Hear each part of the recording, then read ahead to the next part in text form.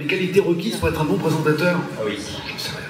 Je sais même pas si je suis un bon présentateur. La seule chance que j'ai, c'est de durer, c'est de faire de l'audience. Après, il y a des tonnes de gens qui me détestent. Euh, il y en a pas mal qui regardent. Euh, et tant qu'il y a cet équilibre, si tu veux, c'est c'est simple, hein, c'est l'offre et la demande. Euh, donc voilà, le jour où il n'y aura plus personne, il y a un patron de chaîne, et ça m'est déjà arrivé, qui va dire Monsieur, on va s'arrêter. Et des fois, ils me le disent même pas. Ils le disent à un journaliste qui le publie, et je lis le journal, et j'apprends que je suis viré.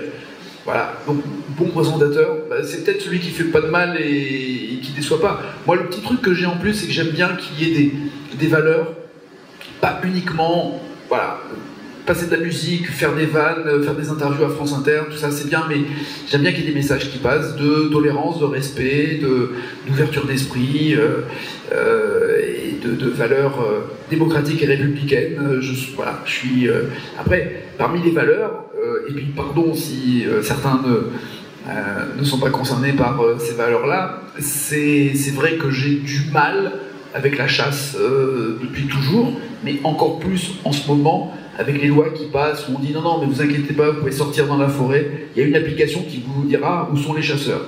Mais il y a encore des, des balles perdues qui rentrent dans la maison des gens. Donc on se dit avec l'application, le mec il va démonter sa maison, il va la mettre euh, 500 mètres plus loin parce qu'il y a un chasseur qui est pas loin. J'ai du mal, j'ai du mal à comprendre qu'on puisse aimer tuer, j'ai du mal à comprendre que ce soit euh, un sport, que ce soit pour la beauté de la nature. Et, et je sais que le disant et, euh, et le disant d'une manière un peu euh, peut-être euh, énervé et plus du tout sur le ton de la certaines personnes en ont marre et se disent je, vais arrêter de, de regarder. Mais en même temps, c'est bien de choisir ses ennemis. Donc moi, que le président de Chasse et Pêche ne veuille pas regarder mon émission, moi je suis, voilà, je suis plutôt content. Et puis sur les valeurs, je vais vous donner un exemple qui n'est pas gay, je suis désolé. Il y a une chanson qui s'appelle L'Aigle Noir de Barbara. Barbara a été euh, victime de l'inceste par son papa, qui euh, faisait des attouchements euh, sur elle. Elle l'a dit, elle l'a raconté, elle a fait des images dans des chansons. Après, certains voient ces images, d'autres disent mais non, ça n'a rien à voir. Mais en tout cas, dans son autobiographie, elle l'a raconté.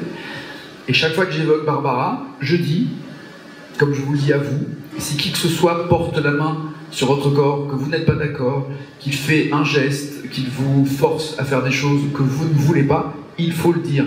C'est pas vous qui êtes en tort, c'est l'autre personne qui a un problème et il faut en parler. Et chaque fois, je donne le numéro de téléphone, le 119. Alors, comme ce sont pour des enfants plus jeunes que vous euh, qui sont concernés, je dis le 119 pour qu'ils sachent exactement comment le composer, comment appeler. Et un jour, une maman m'a écrit une lettre en disant l'autre jour, vous allez recommencer encore à dire euh, voilà, Barbara, le 119, euh, n'oubliez pas que vous faites une émission de divertissement, que vous faites là vous faites un jeu, vous faites de la musique, euh, arrêtez de vous occuper de nos vies privées, arrêtez de donner des conseils à tout le monde, monsieur le donneur de leçons, hein, machin, machin, et la lettre était bah, bah, mais super bien écrite. Et puis on voit rapidement à l'écriture si c'est quelqu'un de dérangé ou quelqu'un de structuré. Je vous dis ça, soignez votre écriture, c'est important pour les profs et pour le bac aussi. Et je continue de lire, elle était vraiment agressive. Et puis d'un coup, rupture.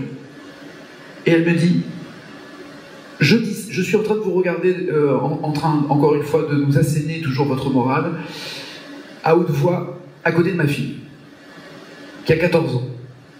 Et ma fille me dit, maman, faut que je te parle. Voilà. Je me suis pris ça comme une claque.